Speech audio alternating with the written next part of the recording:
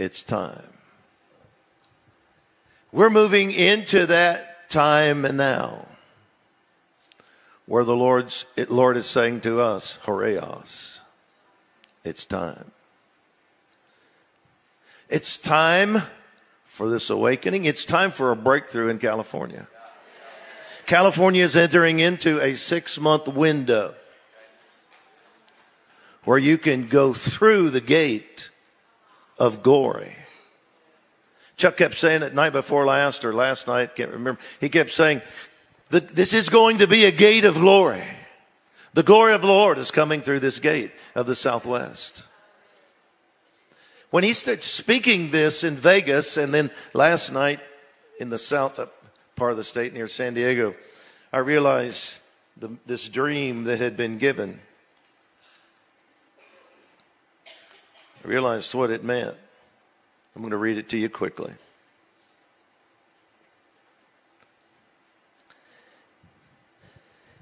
Lady had the dream says, Before going to sleep, I had a quick vision of a large statue of George Washington.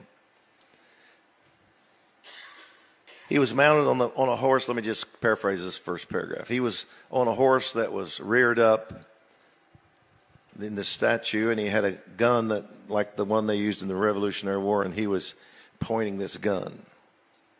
Then she said, I fell asleep and dreamed, and the same statue was in my dream.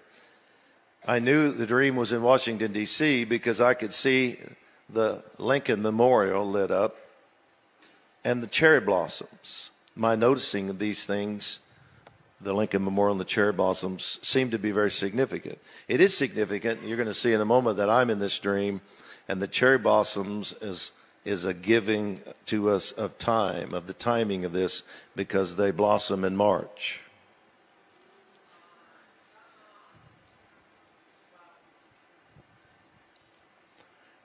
Six months from when she had it what, five months from now. The gun that George Washington was holding was pointing toward the southwest. I realized when we were in Vegas and in San Diego last night, the Lord was saying he was pointing to this region of the nation. And isn't it amazing that you're going to see in just a moment? I'll just go ahead and tell you, I'm standing under this reared up horse. I'm under the legs. So here's the generational thing. Here's the ancient gate. Here's the past. George Washington. And, and wherever he pointed, the, the statue swiveled like this. And wherever he pointed, I began to decree. It's the agreement, it's a generational synergy, but he starts by pointing to the southwest. He's pointing to you here in California, southern part of California, but then he swivels and goes to the north. And he goes back and forth in the dream, pointing to the southwest gate and up the north.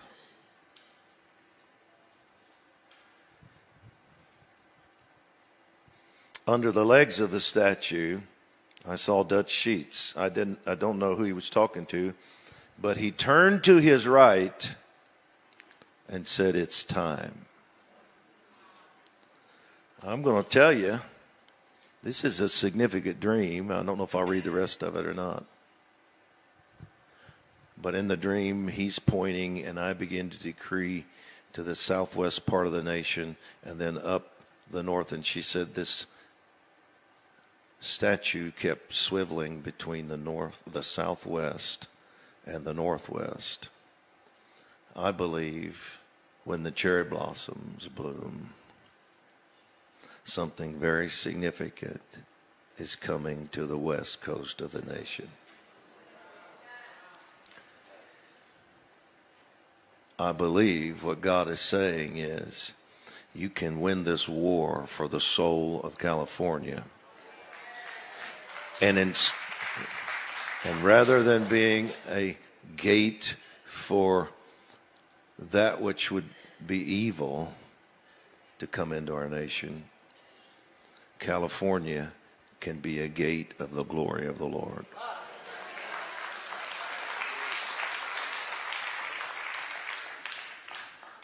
It's time.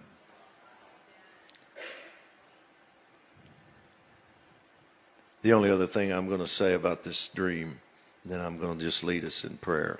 In fact, you want to come up or just hand me, hand you the mic down here? You can come up if you want, Chuck. If you want the worship team up. Yeah?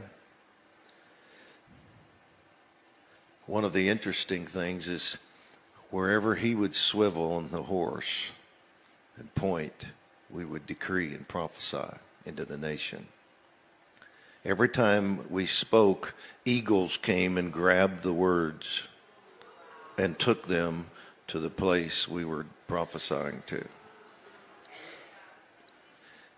But a very fascinating part of the dream was that I used a megaphone, but the megaphone was huge, like she said in the dream, maybe three or four stories tall.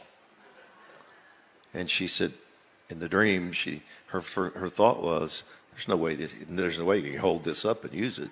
It's too big." But a company of people came hundreds of them, and set the megaphone on their shoulders and held it up for me so that I could decree what God was saying. It was the prayer army in the nation.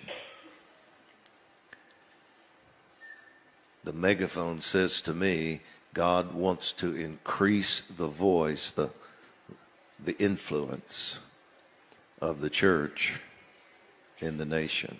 He's going to increase our volume.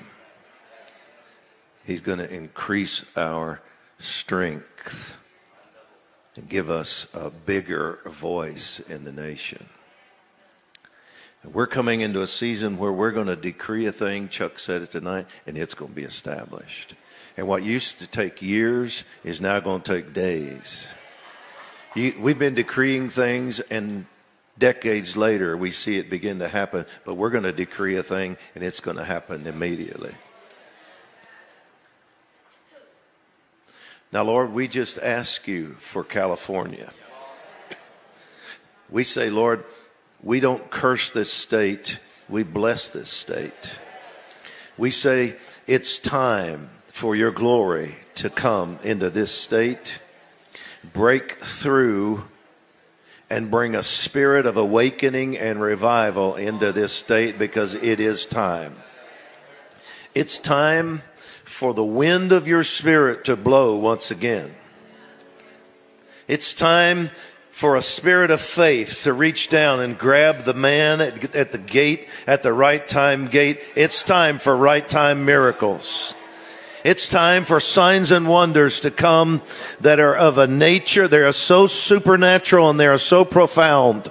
They're so uh, incredible that they grab the attention of the unbeliever. They grab the attention, Lord, of the masses, the multitudes gather. These will be signs and wonders. Glory is coming, bringing signs and wonders into the state, and it's time. And we prophesy that it's time, and we say we're moving into a great window of opportunity, a kairos window of opportunity, and that as we decree your kingdom coming over this next six months, there will be an amazing breakthrough in March. We say that the winds will blow in March. The winds of your spirit will come in significant ways in March. These will not bring natural fires, these will bring spiritual fires. And a wind and a fire that cannot be quenched will blow through this state once again. And it will marry the, the anointings of the past. But the strength of today will be multiplied. And what you do will be greater than what you've done. And the wine will be more powerful and effective than the wine of the past. And we will honor the wine of the past and we will marry the wine of the past. But we will get the wine of today and the wine of the future.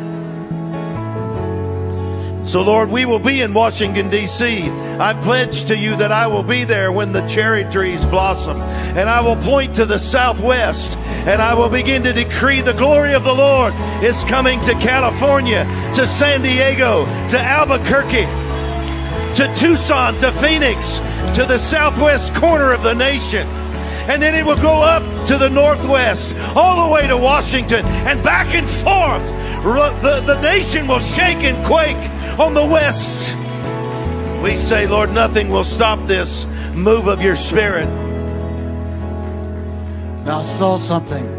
So many of us in this room, we've been walking by and seeing something that needs to change, and it's not changed. The Lord says, right now, I want you to know your hour is ahead. Now, I want you to just reach down and say, I'm ready to pull that thing up into a new form. Lord, I loose new forms. I loose new forms. I loose new creativity. I say it's time for a new form. I say it's time to reconstitute this state and this nation. Now, that's a word to this state. I'm going back to reconstitute it. I'm going back to a place. it's a, I see it. I see the root and how it's attached. Tomorrow we've got to deal with this.